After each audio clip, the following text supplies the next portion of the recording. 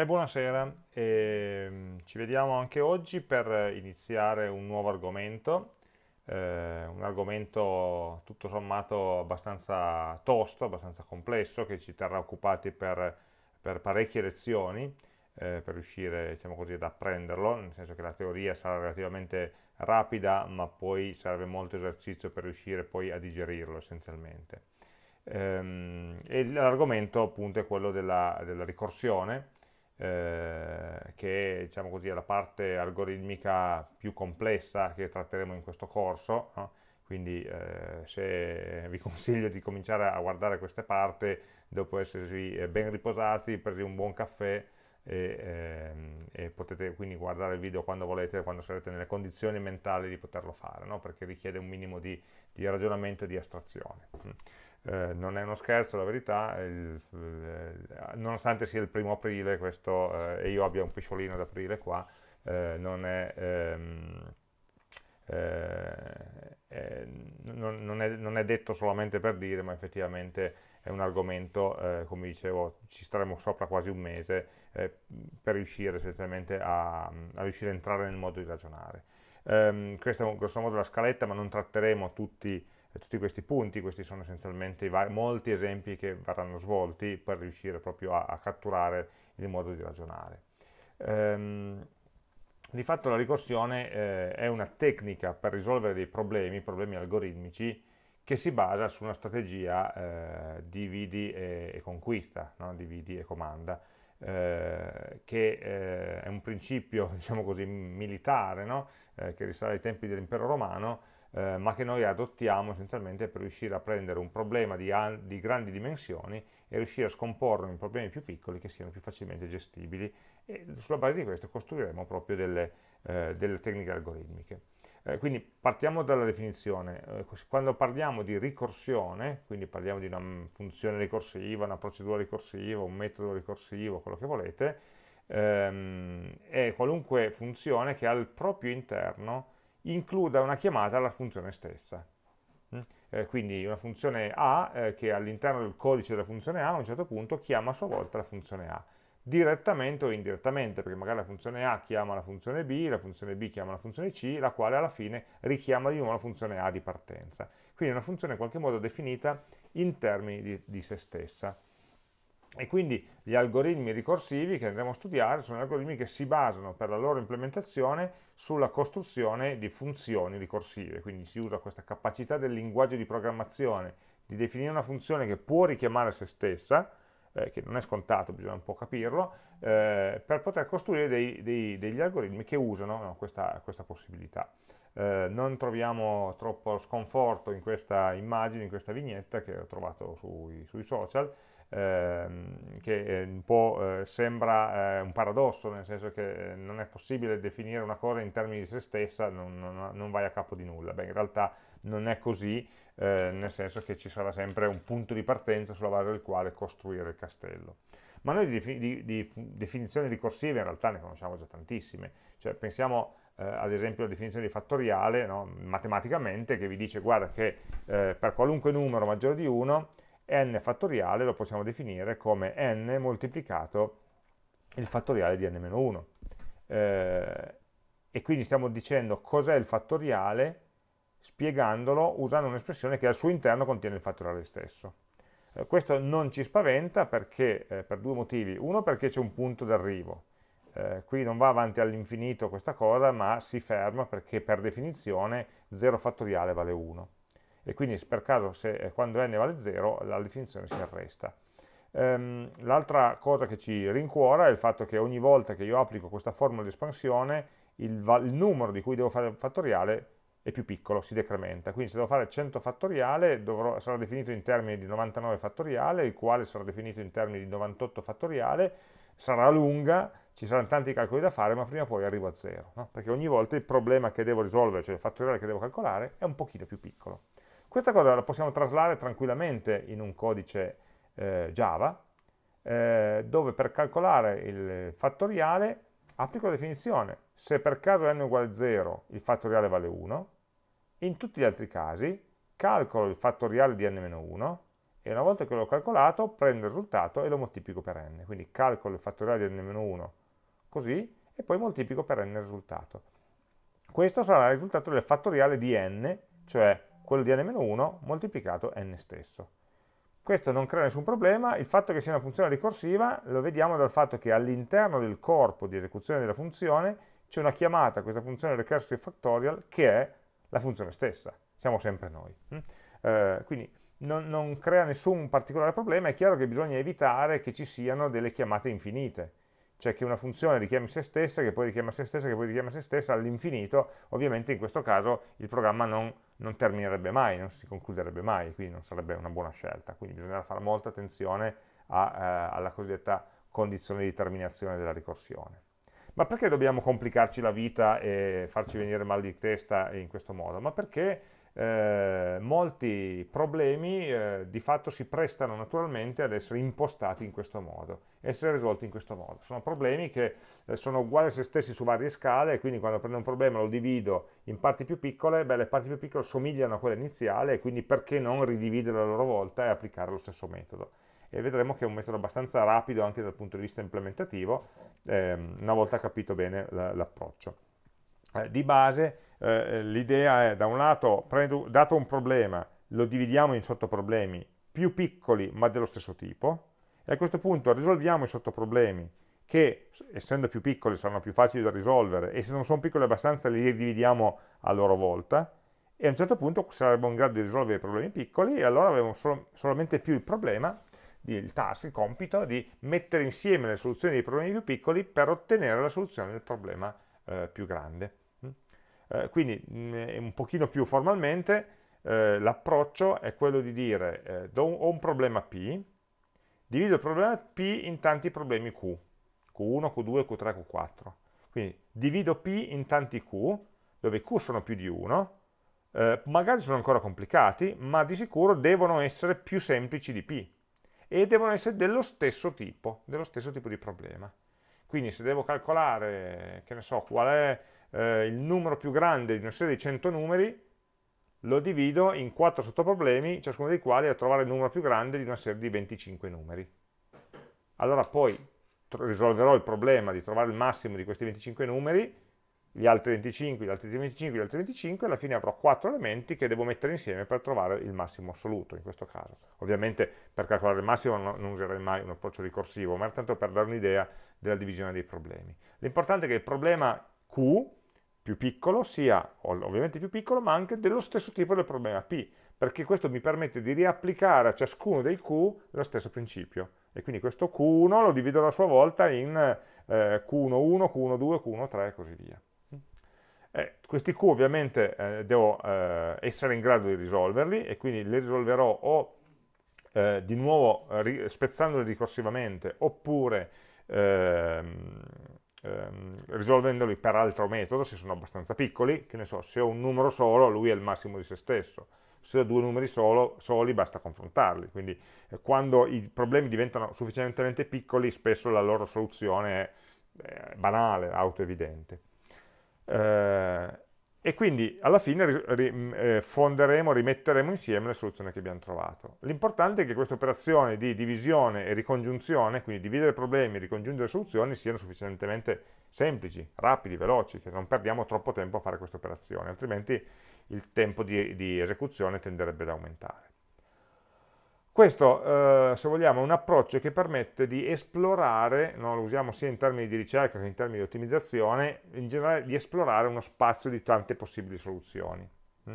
Quindi se io devo trovare, so, quale sia la combinazione migliore di un insieme di fattori, eh, so, troviamo il giorno migliore in cui fare un incontro tenendo conto degli impegni delle varie persone.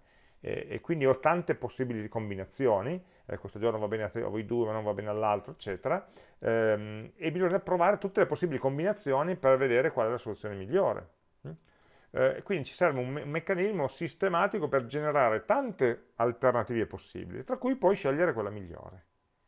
Generare tante alternative possibili eh, dipende dalla natura del problema, a volte, molto spesso si tratta di impostare in modo combinatorio la risoluzione del problema quindi vuol dire eh, lavorare sui possibili sottoinsiemi di un insieme dato, quindi lavorare sulle partizioni, oppure lavorare sui percorsi, in che ordine faccio una certa, eh, una certa, sequenza di operazioni, oppure lavorare sulle permutazioni, cioè un certo insieme di elementi che vanno scambiati di posto, eccetera. Cioè tutto quello che è l'analisi combinatoria, eh, in qualche modo ce la ritroviamo come forma mentis che ci aiuta a decomporre un problema.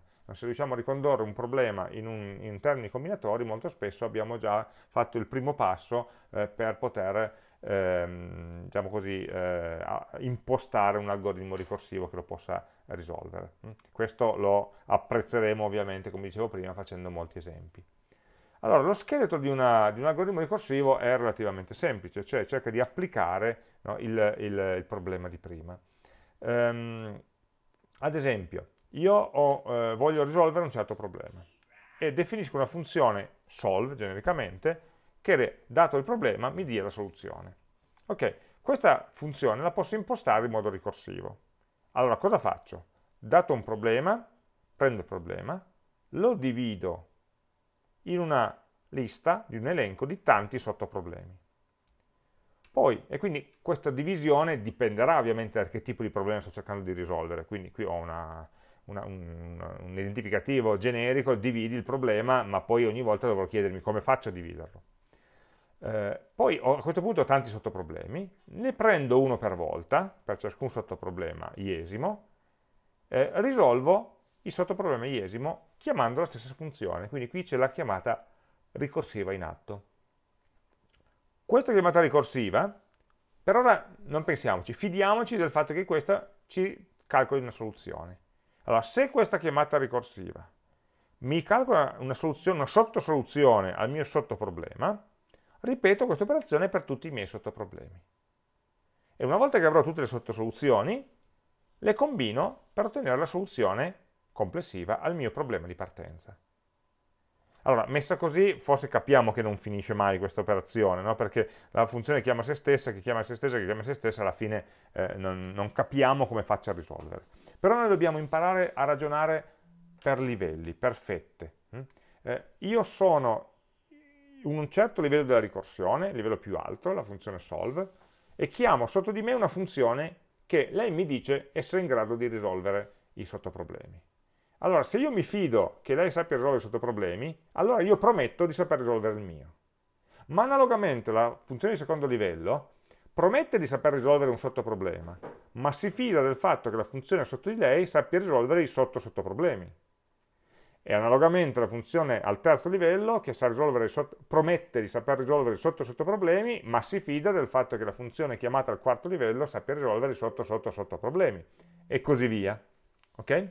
Eh, noi lavoriamo pensando proprio di lavorare in un livello e noi dobbiamo mantenere una promessa, cioè promettiamo di risolvere un problema se in cambio gli altri, quelli che sono sotto di noi, promettono di risolvere il loro sottoproblema.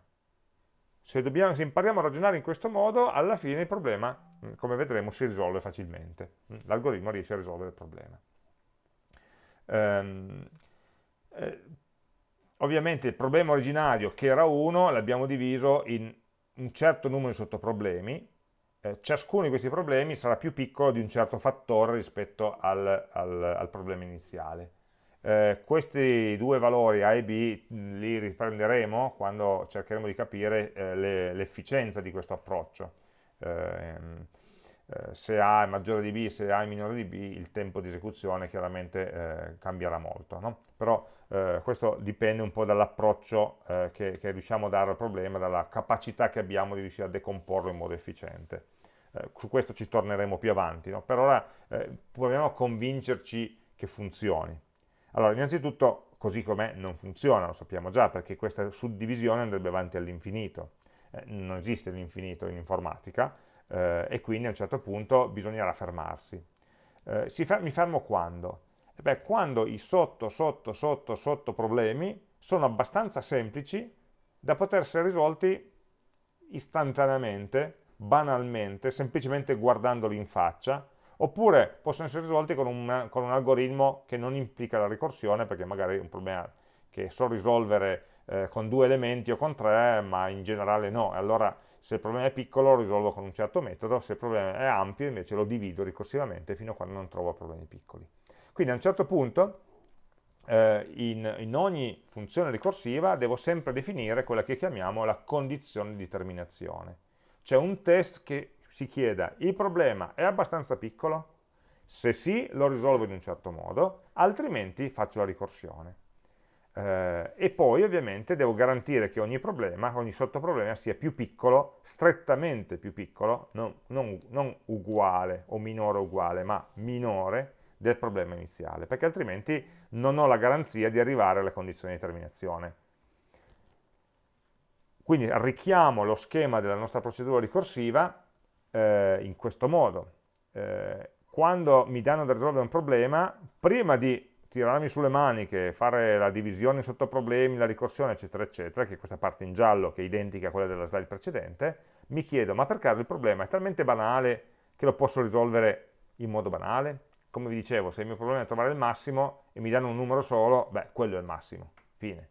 Se il mio problema è mettere in ordine alfabetico due elementi, li confronto, allora sono AB oppure BA, fine. No? Quindi basta semplicemente un'operazione di confronto. Eh, se invece il problema fosse di metterne in ordine 100, allora non è, non è banale, non è triviale risolverlo, e allora andremo a decomporre, andiamo a, a, a impostare una, una procedura eh, più complessa. Eh, quindi molto spesso il fatto che il problema sia banale è perché sono problemi o di dimensione 1 o di dimensione 2 o molto spesso anche di dimensione 0, cioè il problema è diviso talmente tanto che non c'è più, non c'è più nessun problema da risolvere. Quindi alla fine questo test sarà quasi di questo tipo qua, la dimensione del problema che mi è rimasto, eh, qual è? Se è così piccola non ho nulla da fare. E allora nel caso in cui il problema sia piccolo, come vedete non faccio la ricorsione, qui c'è un bel else, manca una parente di grafa, vabbè no, non è, non è, né aperta né chiusa, va bene, eh, c'è un bell'else che mi dice che la ricorsione viene fatta solo se il problema non è banale, solo se il problema c'è davvero. Se il problema è banale, eh, restituisco questa soluzione direttamente senza fare più la chiamata ricorsiva. Quindi ogni procedura ricorsiva deve sempre avere una prima parte in cui mi chiedo, eh, ho finito? Il problema è così semplice che si risolve da solo? oppure no, e allora devo andare avanti col meccanismo generale usando quei livelli di, diciamo così, di promessa e garanzia eh, di cui accennavamo prima. Eh, questa è una tecnica che si può eh, usare anche, come dicevamo, per esplorare del, degli spazi, delle possibilità. No? Se io devo esplorare un certo spazio, allora eh, sono in una certa posizione, esploro le possibilità di movimento, per ciascun passo provo a fare il passo, eh, esploro cosa succede dopo che ho fatto il passo e, e poi faccio un passo indietro per, per ricominciare a prendere il cammino successivo. Questo schema lo, lo è di fatto uno schema un pochino più pratico di quello precedente, lo useremo molto spesso. Quando qui diciamo eh, creo le sottosoluzioni, beh molto spesso una sottosoluzione non è altro che la soluzione che ho già più un pezzettino. Allora provo a risolvere la soluzione più un pezzettino, poi all'iterazione successiva di questo ciclo for dovrò provare la stessa soluzione più un altro pezzettino. Quindi di fatto dobbiamo aggiungere un pezzo, provare la ricorsione, vedete che esplora la chiamata ricorsiva, e poi fare un passo indietro per poter fare il passo successivo in una direzione diversa. Questo si chiama backtrack, cioè l'operazione di rimettere eh, la, il sottoproblema esattamente nello stato in cui l'avevo trovato per poter provare altre alternative. Questo lo capiremo molto meglio quando eh, vedremo il codice. Ehm, allora, la, il concetto base di ricorsione di per sé è un po' astruso, ma non è, non è molto lungo, non è molto articolato. La, la, difficoltà che avremo è chiederci, ma di fronte a un problema, qual è l'approccio che dobbiamo avere? Come facciamo a impostare una procedura ricorsiva che sia in grado di affrontare questo problema? Quindi quali sono i suggerimenti di, eh, di progettazione per, eh, per, un problema ricorsivo? Eh, allora, questo io lo strutturo sotto una serie di domande. Io mi faccio una serie di domande per impostare un problema ricorsivo. Allora, queste domande qui ce le rifaremo ogni volta, le stesse identiche domande ce le rifaremo ogni volta che imposteremo eh, un algoritmo ricorsivo. Eh, quindi, eh, come imposto in generale la ricorsione? Cioè, che cosa capita da un livello della ricorsione a quello successivo, a quello successivo, a quello successivo? Cioè, in che cosa si, si semplificano i sottoproblemi rispetto al problema iniziale. Questa è l'idea principale. No? In che cosa divido? li divido in gruppi, li, ne prendo eh, n, da una parte, n-1 da una parte e 1 dall'altra, quindi ne tolgo uno per volta, li divido a metà ogni volta, dipende, dipende ovviamente da che cosa sto facendo. Quindi questa è la prima eh, cosa complessa. E quindi in particolare eh, parlavamo prima di ricorsione, cioè funzioni che si chiamano l'un l'altra ricorsivamente, una, e, e ciascuna sta al livello sottostante rispetto a quella precedente. E, eh, e, quindi questo livello che cosa rappresenta? Cioè man mano che scendo di livello, che cosa cambia? Che cosa sto facendo? Sto cercando un percorso che porti dal punto A al punto B, Google Maps, una mappa. Eh, allora, al primo livello, io sono a casa mia, il primo livello di ricorsione sarà il primo incrocio che incontro. Che strada prendo al primo incrocio? L'alternativa A, B, C, D. A questo punto, una volta che ho, fatto il primo, il, ho, passato, ho scelto quale primo incrocio fare, sceglierò il secondo allora al secondo livello ci sarà il secondo passo. Quindi in, in, questo senso il numero di livelli diventa, in questo esempio, il numero di, di frammenti di strade, il numero di, di, di segmenti no, di viaggio che sto facendo. Ogni, man mano che va avanti il livello, il segment, aumenta di 1 il numero di segmenti che mi distanziano dall'origine e ovviamente diminuisce di 1 il numero di segmenti che mi distanziano dal punto di arrivo. Mm? Quindi devo riuscire a capire man mano che scendo eh, la soluzione in questo caso diventa più semplice perché mi avvicino all'arrivo. E quindi eh, la ricorsione è un metodo costruttivo per arrivare a una soluzione, cioè non è un metodo matematico che mi dice ma la soluzione esiste, basta risolvere queste equazioni. No, ad ogni livello di ricorsione ne risolvo un pezzettino, ne metto a posto un pezzettino. Quindi di fatto man mano che scendo nella ricorsione, lo vedremo negli esempi, costruisco la soluzione un pezzo per volta, o meglio, costruisco tante ipotesi di soluzione. Poi sarà da vedere se queste ipotesi sono convalidate, se riesco ad arrivare fino in fondo, perché chiaramente anche nel problema delle mappe, se prendo la strada sbagliata, io non riuscirò mai ad arrivare al punto di arrivo eh, e allora la soluzione non la trovo, non è detto che la trovi entro il numero massimo di, di passi o di distanza che posso compiere. Ehm, quindi eh, abbiamo un metodo costruttivo, ogni volta che scendo di un livello eh, sistemo una parte del problema e poi dovrò sistemare le altre sottoparti ai livelli successivi. Ehm, quindi ho una soluzione parziale che via via cresce fino a quando arriva alla soluzione totale. Cioè quando sono al caso terminale della ricorsione ho già tutte le informazioni e quindi quella è una mia soluzione possibile. Mm? Eh, dove soluzione è un termine qua ancora molto vago e dovremo eh, ogni volta specificare di cosa stiamo parlando. Mm? Eh, quindi eh, il compito che ci diamo è quello di riuscire a generare tutte le possibili soluzioni ad ogni livello. No? Il fatto, quello che dicevamo, dividere no, il problema in sottoproblemi vuol dire, ok, io ho fatto questi primi tre passaggi, quali sono le opzioni che ho disponibili per poter fare il quarto passaggio? Eh, e questa è una domanda che dobbiamo farci. Eh, ho la soluzione del livello I, devo generare le soluzioni del livello I più 1. Qual è il meccanismo per farlo? In che cosa consiste questo meccanismo? E poi, come faccio a sapere se una soluzione parziale è una soluzione completa, cioè sono in un caso terminale? Qual è la condizione che devo verificare? Conto gli elementi? Vado a vedere se la somma è maggiore di 0? Che ne so. E poi l'altro problema eh, è, è, come parte la ricorsione. Quindi noi il grosso del pensiero della difficoltà ce l'abbiamo nel livello intermedio, cioè come passo da un generico livello I al livello I più 1. E prima risolviamo questo problema, perché è quello concettualmente più complesso. Poi ci chiediamo, va bene, ma quando sono in fondo, cosa devo fare? E poi ci chiederemo anche, ma quando sono in punta, cioè la prima chiamata ricorsiva, eh, come, essere, come, devono essere preparati i dati, le soluzioni, eh, al, chiamo, chiamiamolo così, a livello zero, a livello di partenza. Okay?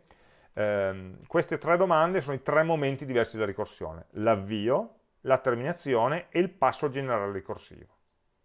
Pensiamoli in quest'ordine. Okay? Ehm, e quindi questo passo generale della ricorsione eh, serve per costruire una soluzione parziale più ricca a partire del livello I più 1, a partire da una soluzione parziale più, più piccola, più ristretta del livello precedente. Eh, io ovviamente, data una soluzione, eh, può darsi che questa soluzione non sia valida eh, e quindi non devo più continuare. Oppure magari è valida e posso continuare. Eh, facciamo un esempio, se noi stiamo pensando ai possibili eh, anagrammi, no? pensiamo di avere delle parole dove vogliamo anagrammare, allora a un certo punto devo chiedermi eh, a livello della ricorsione ogni volta metterò una lettera, quindi la prima lettera dove la metto, la seconda lettera dove la metto, la terza dove la metto, magari arrivo a un certo punto in cui una lettera non la posso più mettere perché l'ho già usata prima. E quindi ci sono alcune mosse, alcune scelte che a un livello non sono più valide perché ho già fatto scelte diverse ai livelli precedenti. Quando ho dei conflitti, quando ho delle incompatibilità, se a un certo livello ho fatto una scelta, 3-4 livelli più sotto non potrò più fare quella stessa scelta oppure una scelta vincolata a questa. Quindi questo mi dice che la generazione delle soluzioni non è un problema eh, da eh, svolgere alla cieca, semplicemente le genero tutte, le genero tenendo conto di quelli che sono i vincoli del problema che ho a che fare quando posso. Quando non posso, quindi ci sono dei casi in cui eh, mi accorgo che una soluzione non è valida solamente quando sarò arrivato alla fine della ricorsione. La guardo e dico no, questa non sta in piedi. E allora a questo punto andremo avanti sperando di poter arrivare a una soluzione e se non ci arrivassimo eh, avremo perso un po' di tempo di elaborazione, ma alla fine scarteremo ovviamente una soluzione non valida.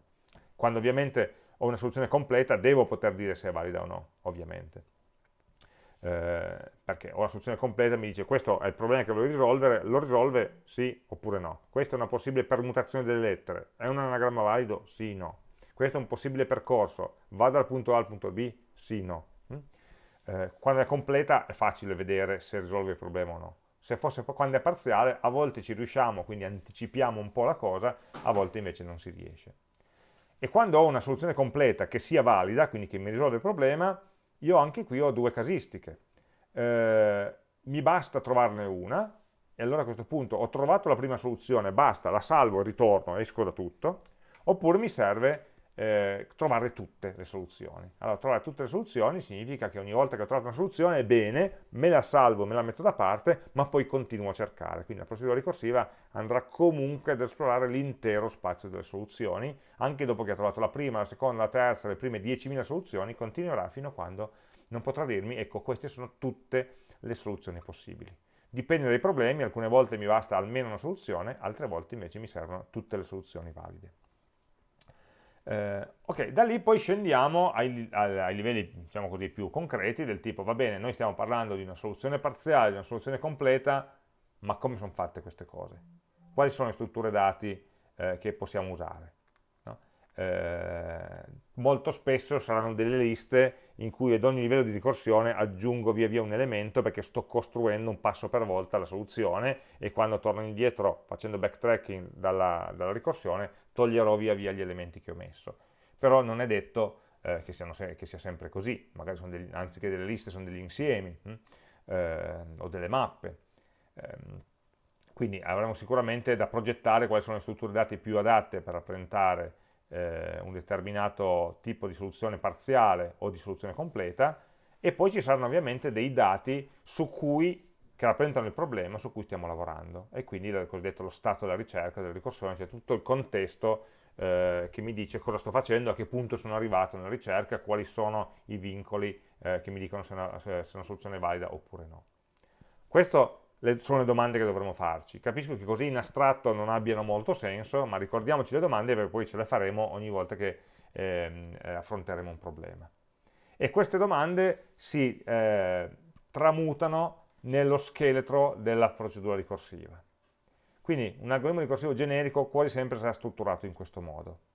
Ehm, abbiamo eh, una procedura ricorsiva che riceve una certa serie di parametri che descrivono la soluzione parziale e una variabile che possiamo chiamare livello che mi dice a che punto sono nella soluzione. Eh, e vedete che la chiamata ricorsiva è qua dentro che dice livello più 1. Cioè ogni volta che chiamo ricorsivamente io sono andato avanti di un passo, sono andato avanti di un livello. Che cosa significa il livello? Beh, ogni problema dipende. Il numero di passi che ho fatto, il numero di lettere che ho sistemato, il numero di appuntamenti che ho incastrato e così via. Ogni volta ne faccio, ogni, ad ogni livello della ricorsione ne sistemo uno. Al livello successivo sistemerò gli altri.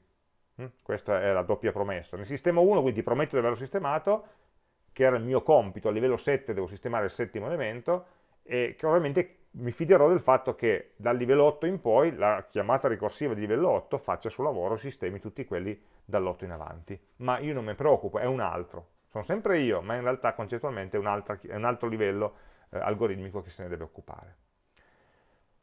Abbiamo eh, una condizione di terminazione che deve esserci sempre, quindi se condizione di terminazione e devo chiedermi qual è, il problema è banale, allora risolvi il problema e ritorna ed esce dal programma.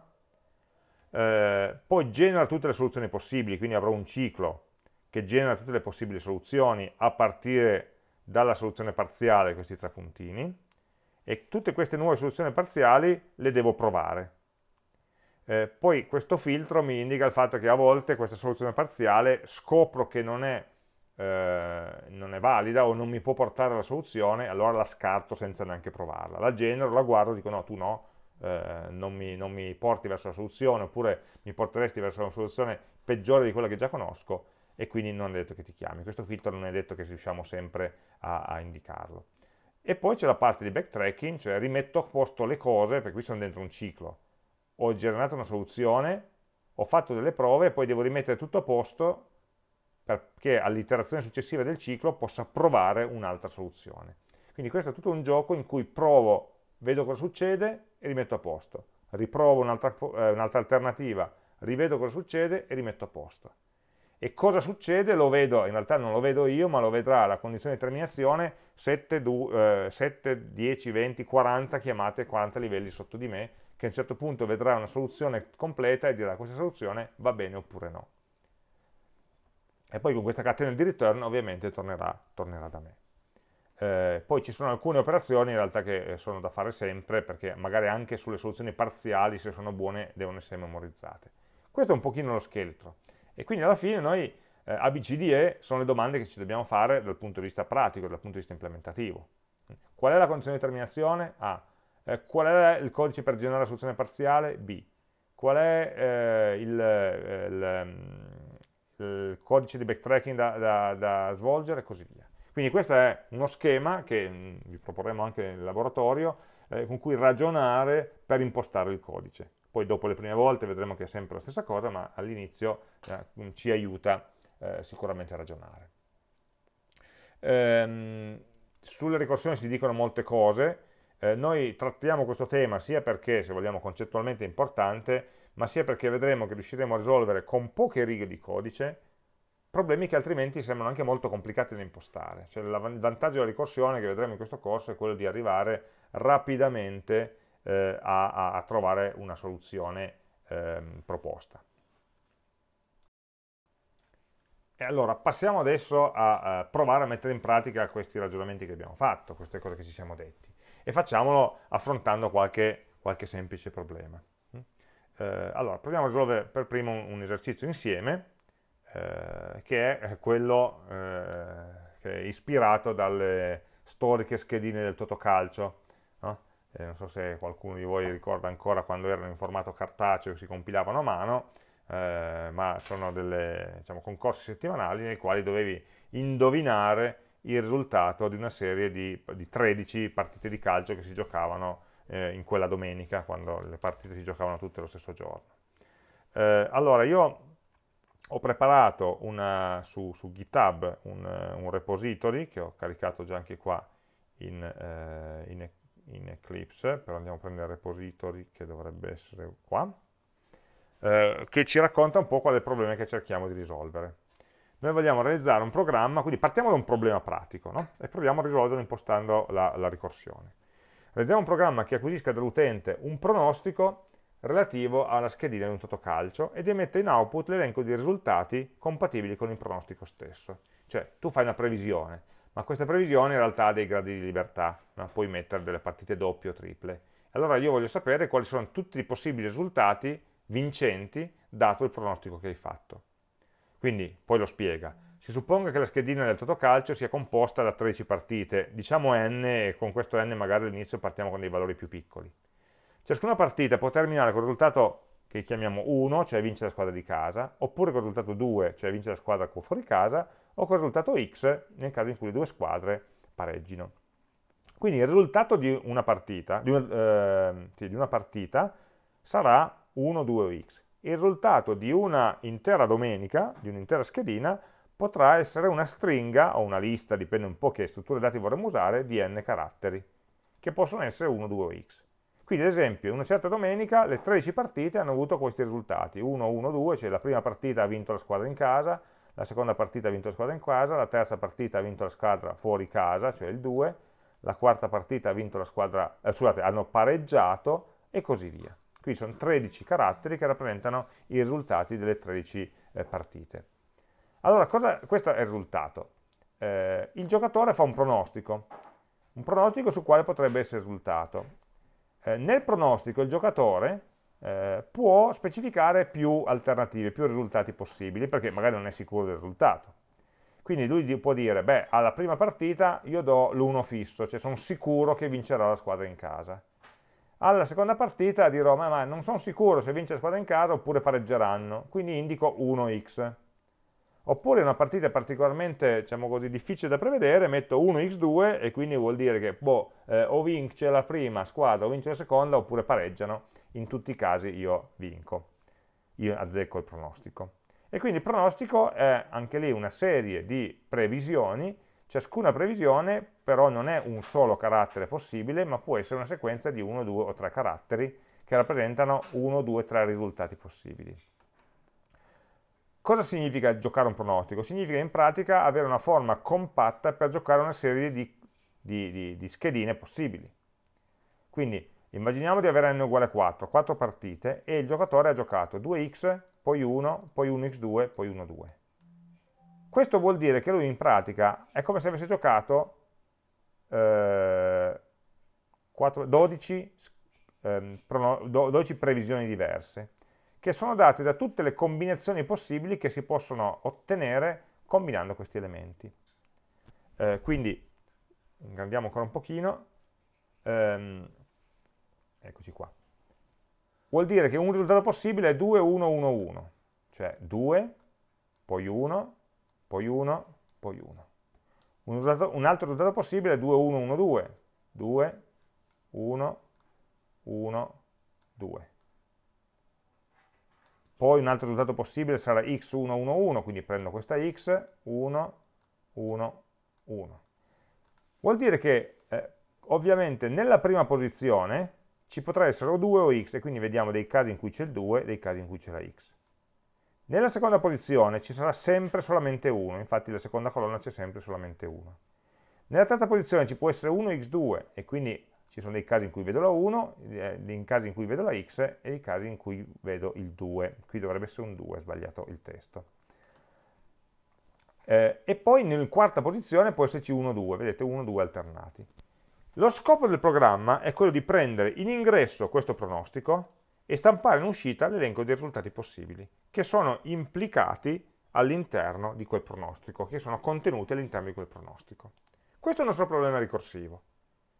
Data un pronostico, sputa fuori l'elenco di tutti i risultati possibili. Come facciamo a farlo?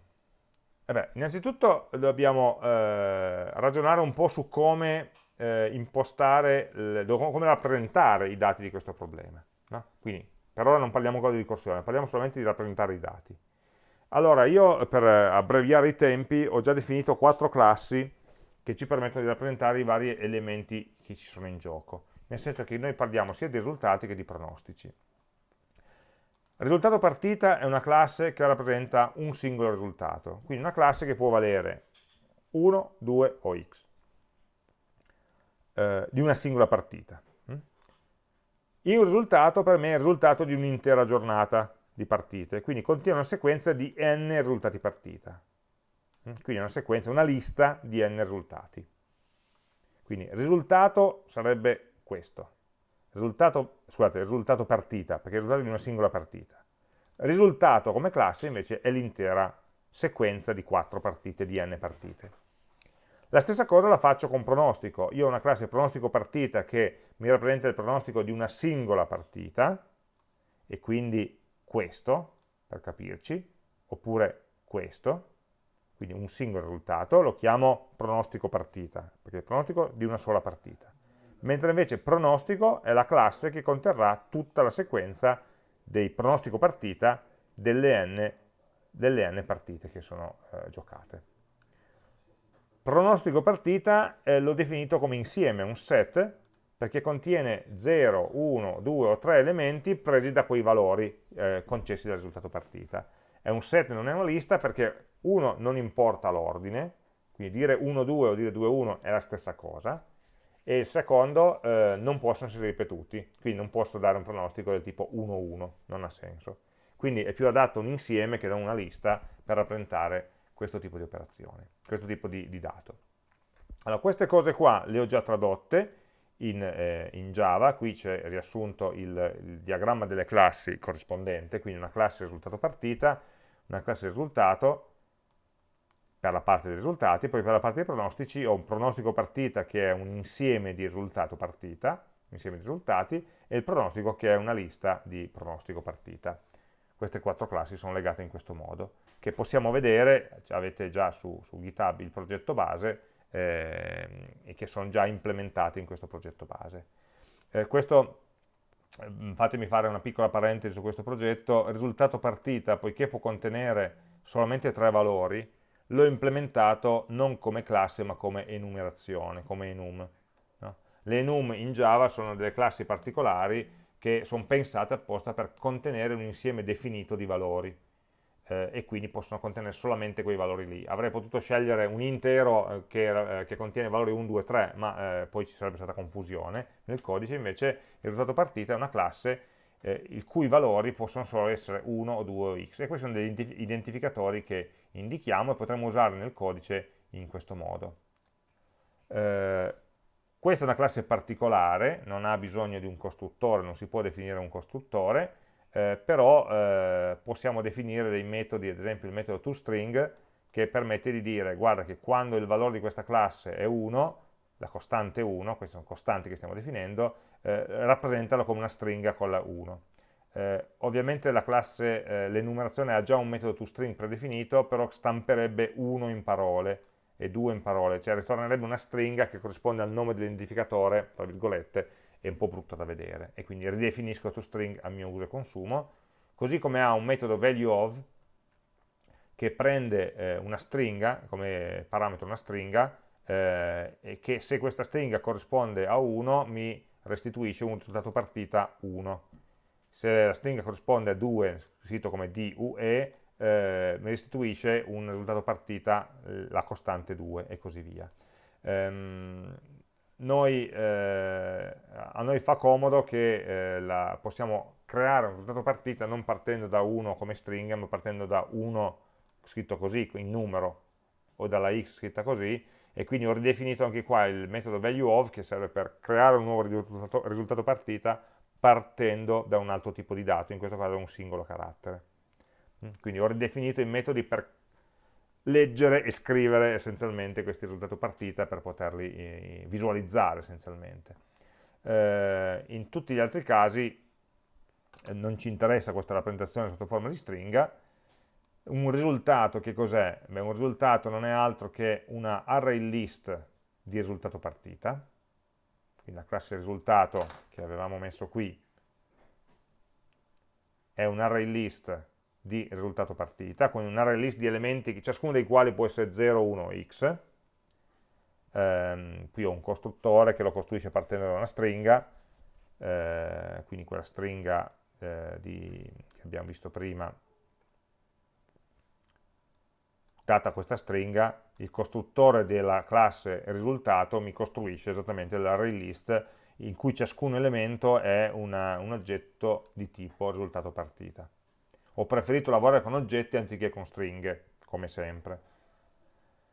E ehm, vabbè, poi il toString lo mostra, non c'è nulla di particolare. E poi abbiamo la classe pronostico partita, pronostico partita è questa qui, abbiamo detto che è quella che contiene un insieme 1, 1x, 1, 2x, eh, un pronostico partita contiene un insieme, un set, di risultato partita. Mm? Quindi un asset che contiene un insieme di risultati. Quindi questi risultati sono i risultati possibili di quel pronostico di quella singola partita. E poi vabbè ci sono i soliti metodi toString, il costruttore, eccetera, eccetera, non nulla di particolare. E alla fine la classe più alta è questa pronostico, che è, non è altro che una lista no? una lista di pronostico partita, eh, con i suoi metodi di accesso, nulla di particolare. Qui ci sono alcuni metodi che poi vedremo, che magari ci torneranno utili. Ok, ehm, a questo punto proviamo a risolvere il problema. Eh, magari ci creiamo un, una piccola classe di test per poter definire un problema, magari quello che è pro già proposto nel testo delle slide, e, e poi eh, proviamo a risolvere e vedere se la soluzione è quella corretta. Allora, per fare la soluzione passiamo in un branch diverso, che chiamiamo soluzione, così non si mescolano il progetto base con la soluzione proposta. Allora, per fare questo, eh, io qua sto lavorando dentro un package che ho chiamato model, come sempre dove ho la parte algoritmica, mi creerò due classi, una chiamiamola test semplicemente, test ricerca, che avrà il suo main,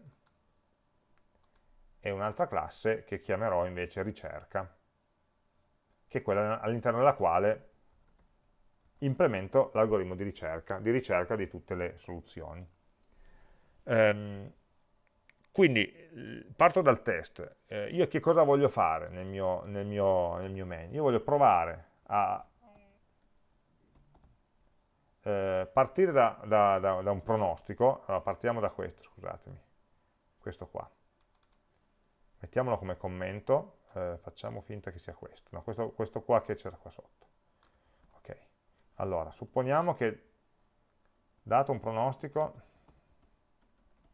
pari a questo, troviamo, troviamo tutti i risultati corrispondenti. Quindi a un certo punto dobbiamo creare un oggetto pronostico. E una volta creato l'oggetto pronostico eh, chiameremo una funzione che, che implementeremo nella classe ricerca che ci trova tutte le soluzioni. Allora, eh, per creare un oggetto pronostico usiamo gli oggetti che abbiamo definito prima, uguale new pronostico,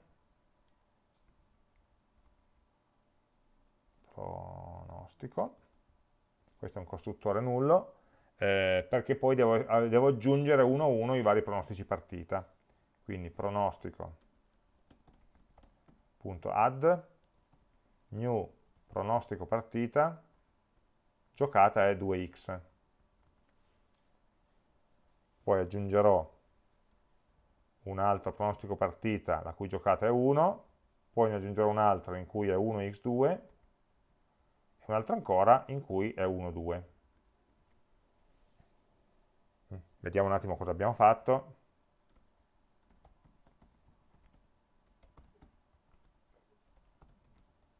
Qui vi ho risparmiato la costruzione di tutti questi singoli oggetti, quindi li sto direttamente usando per creare questa struttura dati. Quindi facendo un run mi stamperà x2, 1, x1, 2, 1, 2, che è eh, ciò che volevamo trovare, 2x, 1, 1x2, e, eh, quindi gli elementi sono giusti, ovviamente avendoli memorizzati sotto forma di insieme, di set, eh, quando li stampo non è detto che li stampi nello stesso ordine in cui li avevo inseriti, ma questa è una caratteristica normale degli insiemi, quindi non devo preoccuparmi. L'importante è che i valori siano quelli corretti. A questo punto eh, ho il pronostico definito e mi piacerebbe chiamare la mia funzione di ricerca, quindi ricerca, ricerca R uguale new ricerca, e mi piacerebbe dire che eh, io voglio avere una lista di soluzioni, quindi list di soluzione, di, scusate, eh, risultato,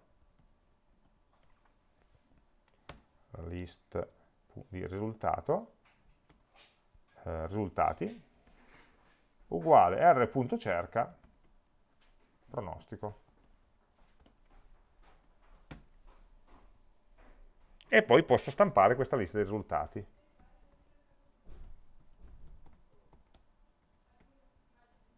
risultati.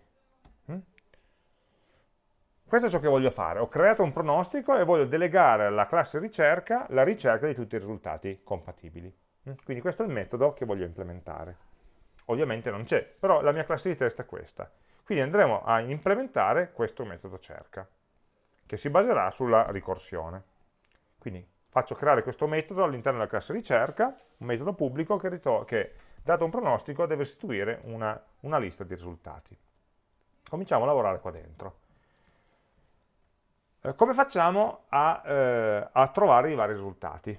Quindi facciamo una parentesi di, di ragionamento, cerchiamo di ragionare su che cosa vogliamo ottenere. Allora, noi abbiamo questo pronostico, eh, e da questo pronostico dobbiamo dire eh, come ottengo i risultati. E un risultato possibile è 2, 1, 1, 1. Poi 2, 1, 1, 2. Poi rimetto 1 qua e metto x qua. E così via. No? Tutte le combinazioni possibili sono lecite. Come faccio a costruirle però, pensando ricorsivamente? Allora, pensando ricorsivamente, io divido il problema in due problemi qua, in due sottoproblemi qua. Allora, il, il mio sottoproblema, il mio problema viene diviso così. Scusate, ricopio questo. E dico, lo divido, mannaggia cursore, così. In un array, in un sottoproblema 2x, e un sottoproblema tutto il resto. Quindi, al primo livello di ricorsione, dirò eh, risolvimi questo sottoproblema. 2x vuol dire o 2 o x. Poi a livelli successivi della ricorsione gli passerò questo sottoproblema. Quando io sono al primo livello di ricorsione, vedo solo questo e gli altri non li vedo, non li guardo, non mi interessa, è il resto del lavoro. Poi a, questo, a un certo punto ci sarà la procedura ricorsiva che riceverà questo problema. E lei cosa dirà? Ah va bene, mi hai dato questo problema, io lo so come dividerlo, io so come dividerlo e lo divido così. Lo divido con l'1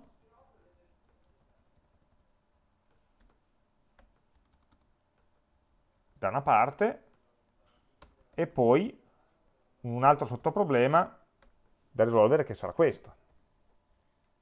E quindi questo sottoproblema che risolvo io a livello 1, questo lo chiamo livello 0 perché è la posizione 0 del vettore, questo lo chiamo livello 1 perché si occupa di definire la posizione 1 del vettore che è la seconda e così via, e lui vabbè, avrà un compito molto semplice perché ha un valore fisso, metterà quello e andrà avanti. E così via. Quindi ogni livello della ricorsione si deve occupare di decidere che cosa ci sta in una determinata posizione del risultato. Quindi a livello 1 dirò cosa ci sta qui? E ci può stare un 2, ci può stare una x. Allora io proverò a mettere il 2 e proverò a mettere una x. Le provo tutte le possibilità.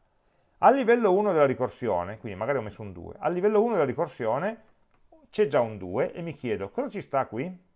Eh, ci sta un 1, per forza.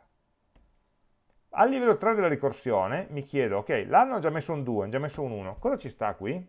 Beh, ci può stare un 1, un x e un 2. E ogni volta che dico ci può stare un 1, un x e un 2, vuol dire che farò tre chiamate ricorsive, una in cui provo a vedere cosa succede se metto 1, un'altra in cui provo a vedere cosa succede se metto x e un'altra ancora in cui provo a vedere cosa succede se metto 2.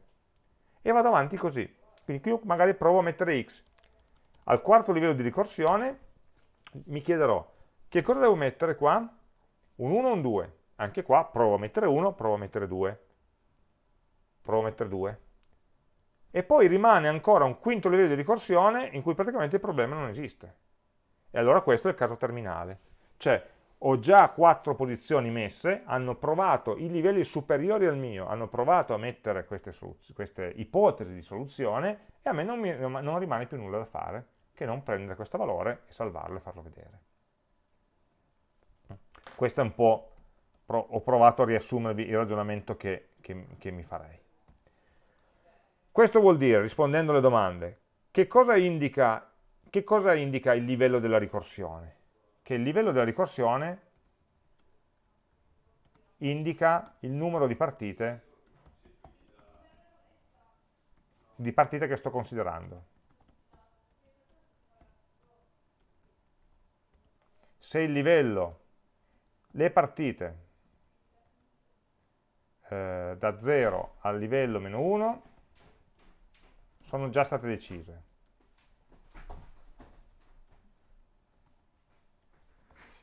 la partita di indice livello la devo decidere io, le partite dal livello più 1 in poi le, le decideranno le procedure ricorsive sottostanti. Sottostanti. Ok? E quindi una soluzione parziale è un insieme di partite, di, abbiamo chiamato risultato partita, di lunghezza, lungo, di lunghezza pari al livello. Quindi quando entro a livello 0 avrò 0 soluzioni. Cioè il signore qua dentro che si è trovato il punto interrogativo qua, che soluzione parziale ha finora? Niente, non c'è ancora nulla. A livello 0 non ho niente, ho 0 partite. A livello 1 avrò già messo il 2, quindi a livello 1 ci sarà già una soluzione parziale che comprende una partita sola e il compito del livello 1 sarà quello di definire la seconda e così via. E la soluzione totale invece è quella in cui ho, ho già gli n risultati. Okay? La eh, condizione di terminazione quindi è quella in cui il livello è uguale a n. Cioè ho riempito, mi chiedevi n risultati? A livello n cioè, ho appena detto che ho, eh, se livello è uguale a n, ho un, un, insieme di risultati partita di lunghezza pari a n, e quindi quella è una soluzione totale. Soluzione totale è quando livello è esattamente n, che è ciò che mi avevi chiesto. Mi rimane la generazione delle nuove soluzioni, a livello n, a un certo livello, del livello e questo lo farò provando le, tutti i pronostici eh, definiti per quel livello. Mm? Questo grosso modo è l'impostazione, no? il tipo di ragionamento, che, il tipo di schema che ci faremo per ogni procedura ricorsiva. Quindi eh, questa funzione cerca, che è una funzione pubblica, non è ancora lei che fa la ricorsione, no? perché lei riceve una cosa pronostico e non, il livello non sa che cos'è, eh, la soluzione parziale non sa che cos'è, e quindi diciamo una funzione di interfaccia verso l'esterno. Noi la vera ricorsione la faremo in una funzione privata, eh, tipicamente void, eh, ricorsiva. Questa funzione ricorsiva, che è quella che fa il grosso del lavoro, cosa riceve? Riceve una soluzione parziale e riceve il livello, come minimo, eh? poi potrà, quando diventa il problema più complesso, ovviamente ci saranno delle cose in più. Cioè le dice, io eh, al livello 3 hai già una soluzione parziale che contiene già tre elementi e tu devi mettere il quarto. Ehm, sì. Il quarto, cioè quello di indice 3 nella, nella lista. Quindi ogni livello di ricorsione deve conoscere già la soluzione che è stata costruita fino a quel momento, sapere a che punto è in modo da poter andare avanti. La soluzione parziale che cos'è? Eh beh, è una lista di, l'abbiamo scritto qua, un insieme, anzi non è un insieme, è un elenco, una lista, una sequenza di risultato partita. Quindi noi la possiamo definire semplicemente come lista di risultato partita. E il livello è un numero intero. Allora, dentro, questo è, è, il compito che mi è stato dato. Guarda, hanno già deciso le prime tre partite, tu decidi la quarta. Questo è ciò che dice questa signature di questo metodo. Allora, per decidere la quarta, innanzitutto io devo chiedere se sono nel caso terminale, ah, lo metto fuori, sopra il commento, scusate, caso terminale, allora faccio certe cose, altrimenti sono nel caso generale. Quindi non sono ancora arrivato al caso terminale. Come riconosco se sono nel caso terminale? Beh, per riconoscere se sono nel caso terminale devo eh, sapere se il livello uguale a n. Cos'è n? N è la lunghezza del pronostico. Allora, vuol dire che questa procedura ricorsiva in qualche modo deve conoscere ovviamente la variabile pronostico. Come faccio a conoscerla? Beh, potrei passarla come parametro, però immaginate che una procedura che chiama se stessa tante volte, avere troppi parametri può essere pesante, quindi la cosa forse più comoda è quella di creare delle variabili di classe, delle variabili private, private pronostico,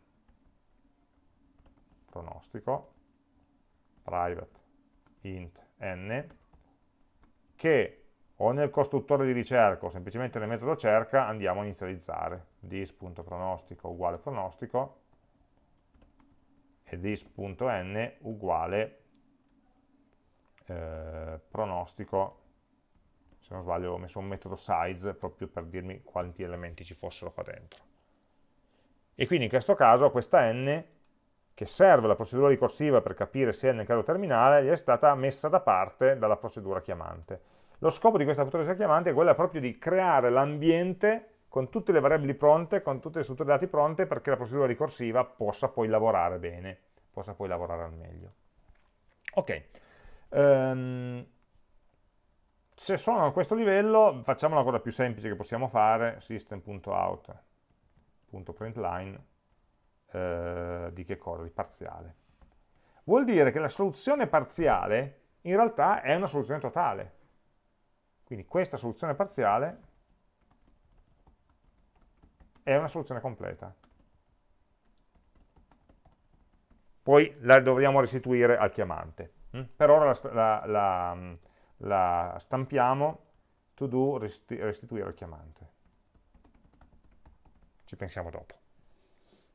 E questo è il caso terminale, cioè ci sono tolte dei piedi più o meno, a parte il to do da fare.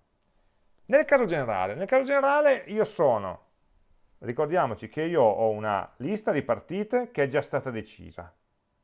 Quindi la parziale contiene gli elementi da 0 a livello meno 1.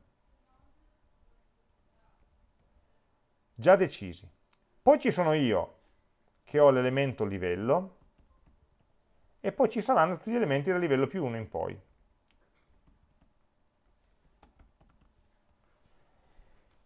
I primi non li devo guardare perché sono già decisi. Gli ultimi non li devo guardare perché ci penserà qualcun altro e io devo farmi i fatti miei e guardare solamente il mio. Attenzione, se il livello vale 3, io sono nel quarto elemento, nella quarta partita, perché il livello parte da 0. Hm? Ricordiamoci, il livello parte ovviamente da 0. E quindi quando il livello vale 0, questa parte non c'è e io devo mettere, devo definire chi gioca nella partita 0, cioè la prima partita, mm, non confondiamo, attenzione che il numero di elementi è sempre, eh, eh gli elementi del livello 4 sono quelli che vanno da 0 a 3 e io devo decidere il 4, l'elemento di indice 4, cioè il quinto, mm? non perdiamoci in queste finezze sugli indici. Ok, devo preoccuparmi di quel livello. Allora, quali sono i valori, qual è il pronostico di cui mi devo occupare? Il pronostico di cui mi devo occupare è pronostico partita che mi interessa,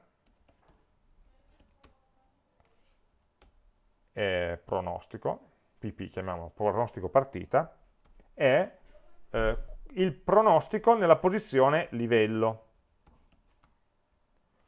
Eh, dis.pronostico get livello. Quindi la prima volta che questa procedura viene chiamata a livello 0 farà pronostico.get di 0, cioè mi dà questo, 2x.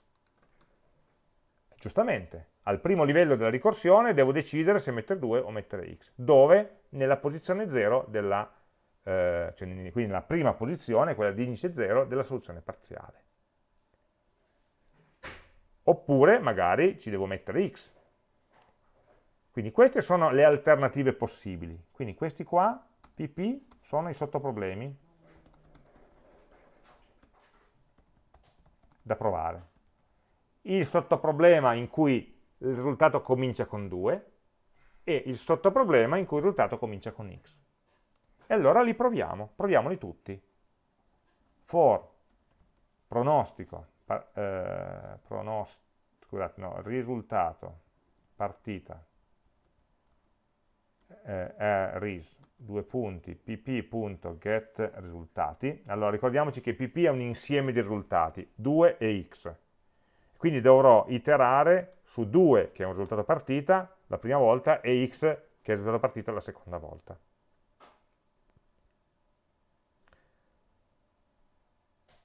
E quindi eh, itero su get risultati è un set sugli elementi di quel set. E questi elementi sono ciascuno un risultato partita.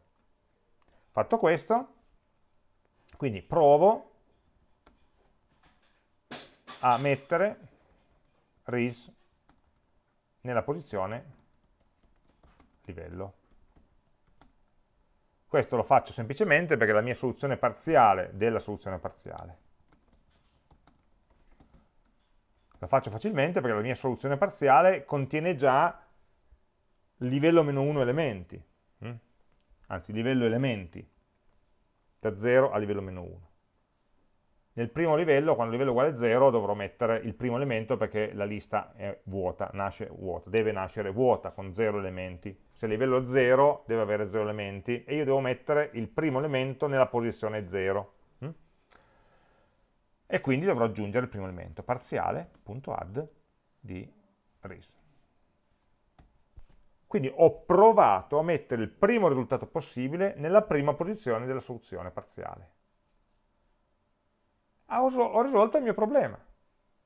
Adesso, da qui in poi, dovranno gli altri mettere i livelli successivi. Quindi dovrò dire ricorsiva, parziale, livello più 1. Cioè prendi questa soluzione parziale a cui ho aggiunto il mio pezzo, spostati a livello successivo e quindi se io ho messo la partita in posizione 0, tu con, ehm, occupati di mettere la partita nella posizione 1. Se io ho messo la partita nella posizione 7, occupati di mettere la partita nella posizione 8. E va avanti così.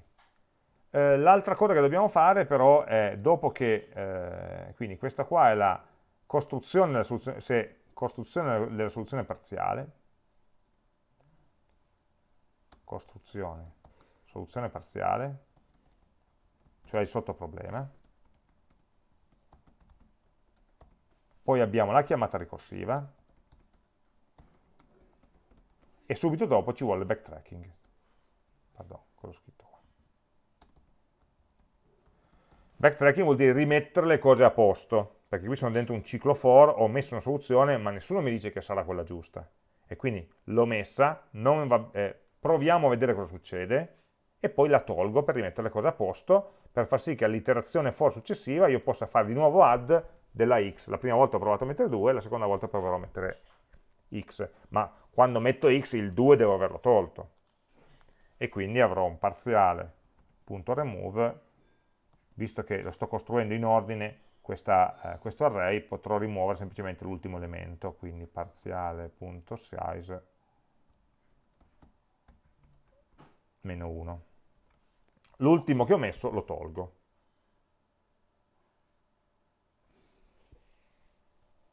Fine.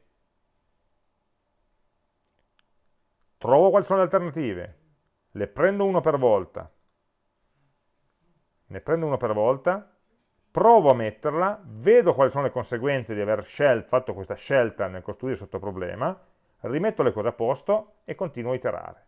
Quando questo for finisce di aver provato le due possibilità, la funzione finisce, esce, non, fa, non ha più nulla da fare non ha più nulla da fare, cioè tornerà al livello precedente, al livello meno 1, no? e così via, fino a quando tornerà al caso di partenza. Ehm, allora a questo punto ci sembra che questa procedura sia completa, proviamo a chiamarla. Per chiamarla devo chiamarla con un sottoproblema iniziale che coincide col problema intero. Quindi dovrò creare una lista di risultato partita su cui lei possa lavorare, eh, parziale, chiamiamo ancora, uguale new array list, creo una lista vuota, esistente ma vuota, con 0 elementi, e livello uguale 0. E quindi lancio la ricorsione passandole la soluzione parziale e il livello, cioè 0.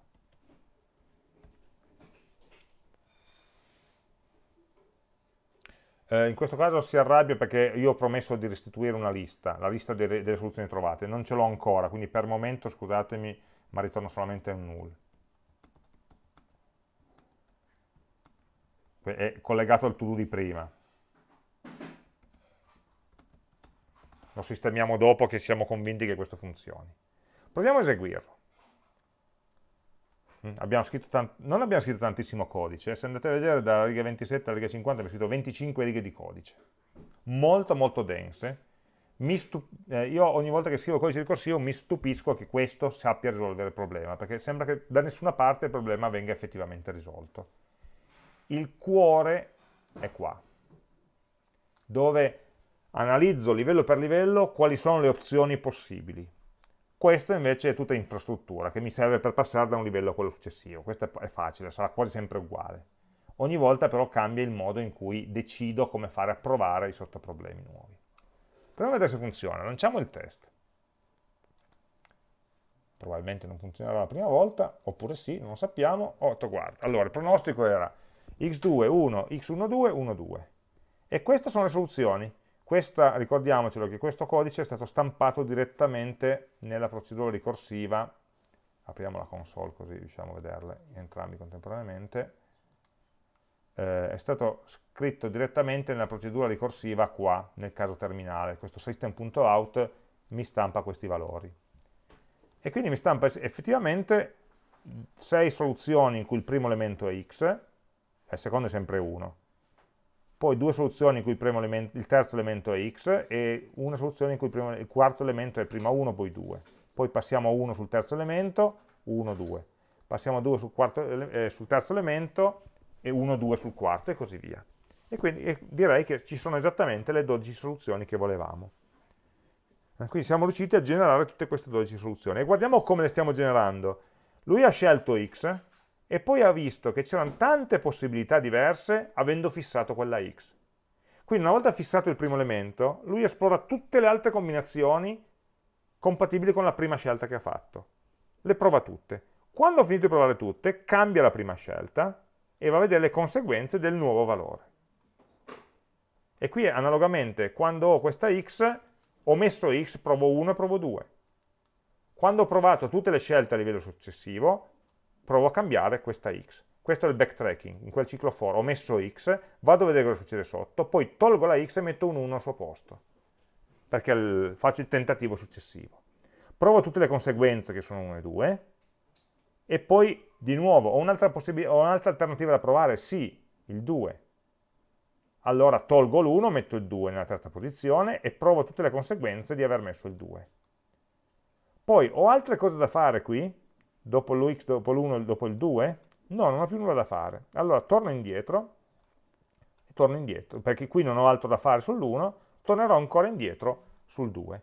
E a questo punto tolgo la x rimetto il 2 e da qua riparte tutto l'albero di chiamate ricorsive.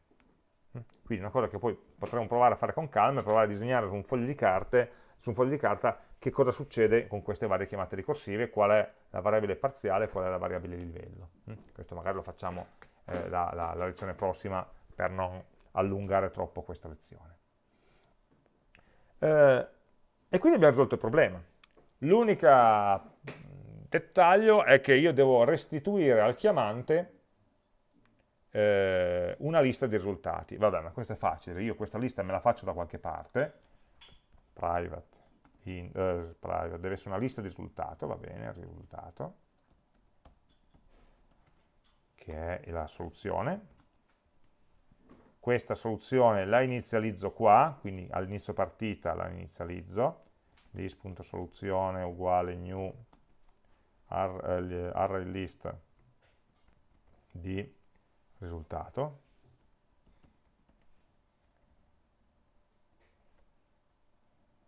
Ok, è aperta questa tonda e quindi inizializzo una soluzione vuota. Per ora non conosco nessuna soluzione.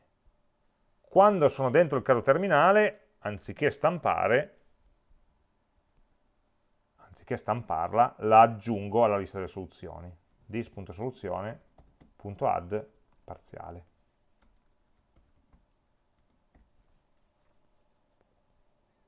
Mm, in realtà non funziona così perché parziale è una lista di risultato partita mentre soluzione è, una lista, è un risultato eh, vuole, vuole un oggetto di tipo risultato l'oggetto di tipo risultato eh, ha un costruttore che parte da una stringa.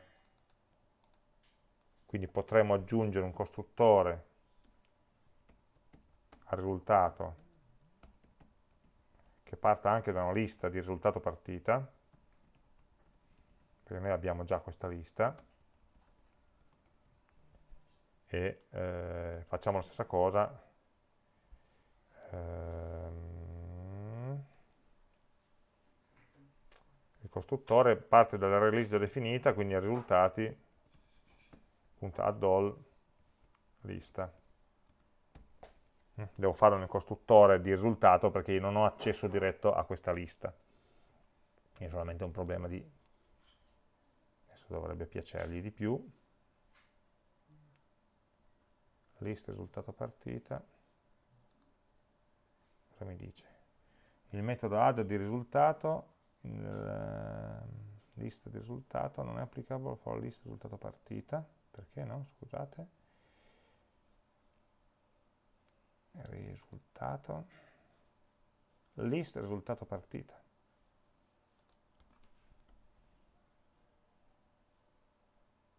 Un, metodo, un costruttore.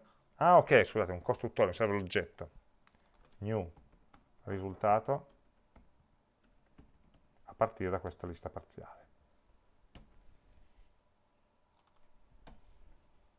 Ok, quindi aggiungo questa lista di soluzioni, che è una lista di oggetti risultato, un nuovo oggetto risultato che ottengo prendendo la lista parziale. Mm. E questa, eh, la parziale che a questo punto è arrivata a livello n, quindi è una di queste che ho stampato, eh? Stiamo, le abbiamo già viste queste soluzioni. Questa soluzione eh, torno nel metodo cerca, che è il metodo di più alto livello, anziché ritornare null, ritornerò dis.soluzione che è un array list, ricordiamoci che l'abbiamo creato vuoto qua, ma la procedura ricorsiva ce l'ha riempito ogni volta che trovava una soluzione terminale.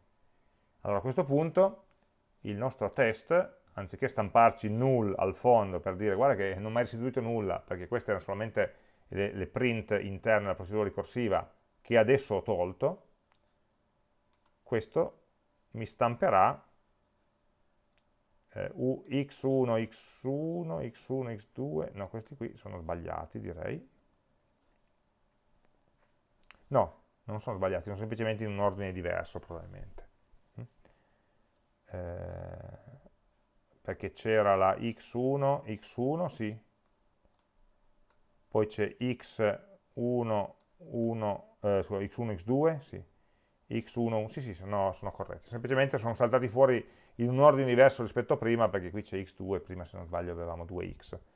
Mm? Eh, è, normale perché appunto avendo dei set eh, l'ordine può, può saltare fuori diverso, ma l'importante è che siano sempre gli stessi, gli stessi valori. 2, 1, 2, 2 ce l'abbiamo anche qua come avevamo prima. Mm? Quindi in questo caso abbiamo l'elenco dei risultati eh, disponibile al, al, al programma chiamante questo elenco è appunto stato calcolato dalla procedura ricerca, rivediamo solo velocemente la soluzione che abbiamo ottenuto, abbiamo una funzione di interfaccia no? che permette all'esterno di chiamare l'algoritmo di ricerca. Questa funzione è un'interfaccia molto semplice, dammi il problema, ti do la soluzione. Internamente cosa fa questo metodo? Prepara l'ambiente in cui la procedura ricorsiva lavorerà, quindi preparare strutture dati, dove prendere i dati di partenza, dove prendere la soluzione parziale, dove scrivere la soluzione completa eh, risultante, eccetera, eccetera. Poi passa la palla alla procedura ricorsiva, tipicamente a livello 0. La procedura ricorsiva fa tutto il lavoro e poi, quindi quando esce, io mi trovo già la soluzione pronta. La questo mi serve perché la chiamare la procedura ricorsiva a livello 0 è diverso che chiamarla a livello 7, perché quando la chiamo a livello 7 la chiamerò dal livello 6, dove ho già tutto pronto sul livello 6. Il livello 0 invece richiede del lavoro preparatorio in più. Ma poi fatto questo, la procedura segue esattamente lo schema ricorsivo che abbiamo visto prima nelle slide. Quindi per un determinato livello, eh, se il livello è n, cioè sono nel caso terminale, mi metto da parte la soluzione, in questo caso volevamo tutte le soluzioni, non una sola, poi vedremo le varie casistiche, eh, quando faremo i vari esercizi, ma in questo caso ci servivano tutte le soluzioni e quindi le aggiungo a una struttura dati che si ricorda le varie soluzioni. Ci fa anche piacere che abbiamo scritto new qua perché ci permette di fatto di clonare la soluzione parziale e non restituire semplicemente il riferimento alla soluzione eh, che rischierebbe di essere sempre la stessa, ma questo è un altro problema che affronteremo, eh, di di, di, dover clonare la soluzione nel, nel caso terminale. E poi c'è il cuore della ricorsione che è qua. Come vi dicevo, queste due istruzioni eh, capisco quali sono le alternative possibili al, al mio livello, ignorando tutti i livelli precedenti perché sono già stati decisi, ignorando tutti i livelli successivi perché non spetta a me e chiedendomi quali sono le mie alternative, qui non devo essere intelligente, non devo dire ma la migliore è mettere un 1 oppure è meglio mettere un 2. Devo provarle tutte. Poi ci sarà il caso terminale che decide quali sono buone e quali non sono buone, ma potenzialmente io le devo comunque provare tutte. E quindi itero con questo ciclo for è quello in cui pomposamente all'inizio dicevamo genera i sottoproblemi. Ecco, ne provo uno per uno tutte le varie alternative, creo la soluzione parziale aggiornata con in più questo livello e, va, e, passo alla procedura ricorsiva il lavoro da fare sulla parte successiva che noi invece non abbiamo minimamente guardato. Quindi i passi base sono sempre questi eh, lo vedete che questo codice qua, se lo andate a confrontare con quello che c'è sulle slide, è estremamente simile, perché lo scheletro grosso modo è lo stesso. Okay? Quindi questo è un primo assaggio, un primo esercizio eh, che ci permette appunto di, di, apprezzare cosa si può fare con la ricorsione, ma eh, le, nelle prossime 3-4 lezioni almeno faremo altrettanti esercizi da zero per riuscire via via a vedere le varie casistiche, dove possono esserci problemi, quali sono le varianti diciamo, di applicazione di questo e soprattutto eh, i vari tipi, di, di, i vari, i vari tipi di, generazione dei problemi. Questo è un problema eh, di, ehm, di combinazioni, cioè io devo trovare tutte le combinazioni possibili di questi quattro elementi e quindi semplicemente si moltiplicano no? uno per l'altro, combinazione con ripetizione, cioè eh, uno, un, devo trovare tutte le combinazioni possibili. No? Eh, in altri casi invece magari è un po' più complicato perché ci sono dei vincoli in più, eh, immaginate il vincolo del tipo non devi avere più di 2x, nella, se ci fosse un vincolo del genere nella schedina. E allora a questo punto non sono più libero ad ogni livello di decidere a caso, di, di provare tutte le alternative. Tutte le alternative, magari alcune non sono compatibili con ciò che è stato deciso ai livelli precedenti. Quindi la cosa ovviamente si può complicare. Qui siamo partiti da un problema che è un po' strano come strutture dati, ma è eh, molto semplice dal punto di vista della, dello svolgimento dell'algoritmo. Eh, quindi proviamo a digerire questo, io vi pubblico la soluzione eh, su, su, GitHub, eh, provate a, a studiare, provate a ripeterlo a implementarlo, sapendo appunto, come vi dicevo, che eh, fa, eh, nelle, nei video successivi faremo molti altri esercizi e poi ci porteranno poi a, anche a, a farvi un paio di laboratori eh, due o tre laboratori eh, su questo tema della ricorsione. Per ora vi ringrazio e ci vediamo nelle prossime lezioni.